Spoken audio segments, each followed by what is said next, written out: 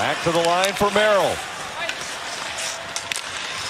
Fiala cut off by Novak. Feeds Kulikov. Back to Fiala driving in. Fiala to the net. And a save by Ingram. Penalty coming on the play. He's going to call Fiala here.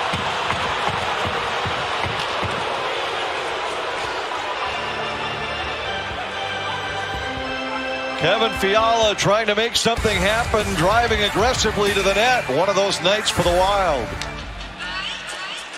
Second goaltender interference call against the Wild in as many nights. Well, another thing that can that can spark a club is is a bad call or, or something that they don't think is just. Right here, good play. I love this play from Fiala, attack the net. A lot of times we see guys go around the net trying to tuck that one in on the far side.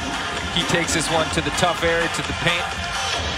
So running over the Predators defenseman, but in lieu of that, gets a small piece of Ingram and will have to sit. And the shot we had of Dean Evason as we went to break, rubbing his temples, I can only imagine, and I'm just guessing, that a part of the conversation was we got to get back to the basics. Get the puck in, go to the net, let's make something happen. And here Fiala does just that and winds up in the penalty box, which has been the story of the night for the Wild.